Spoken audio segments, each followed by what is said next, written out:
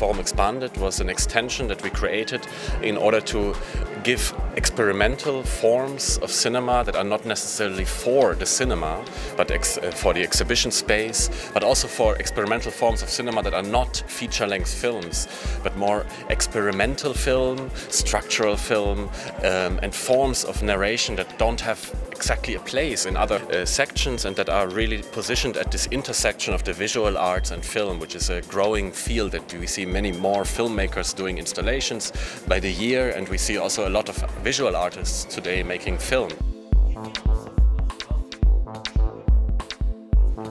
Felt that uh, after doing the, the video, it's 37 minutes, then I get an invitation to uh, put a lecture performance. And I was like, okay, since I'm searching uh, the, the, subject and I didn't finish, uh, like I was having a lot of materials. So I was like, okay, I'm gonna talk about not only the video, let's put the video aside and do another body of work, which is a lecture performance explaining, uh, uh, in my opinion, or analyzing the whole elements that I'm, I'm talking about.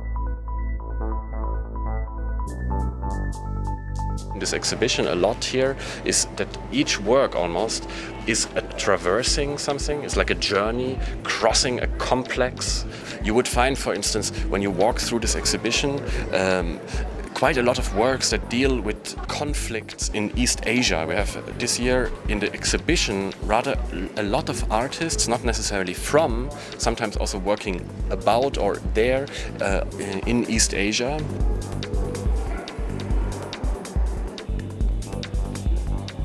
I'm presenting together with Angela Anderson, Maurizio Lazzarato, and a Japanese filmmaker from yeah from Japan.